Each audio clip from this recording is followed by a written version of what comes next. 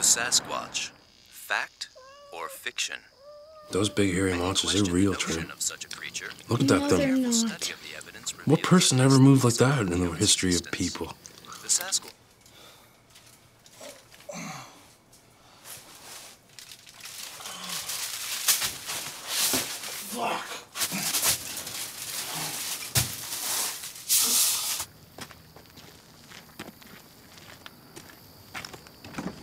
Is nocturnal by nature, so logically there would be relatively few sightings. Yet, there have been literally hundreds of sightings all across North America for generations now. Can all these people be wrong? It's unlikely.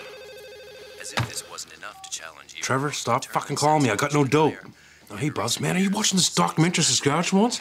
It's Sam Squams, Ricky, and there's one right outside my fucking door right now. He's trying to get into my shed. Holy shit, Bubbles, I see him. Don't scare them. this fucker's worth a lot of money. Got the gun, sucker bubbles.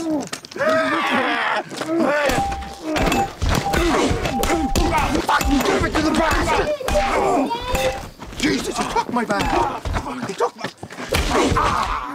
Crank him, Ricky. Ah. See how big his feet are. What the fuck are you guys doing? Oh, fuck, he can talk, Bubbles.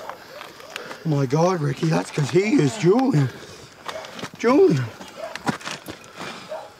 Oh, Fuck, man, you okay?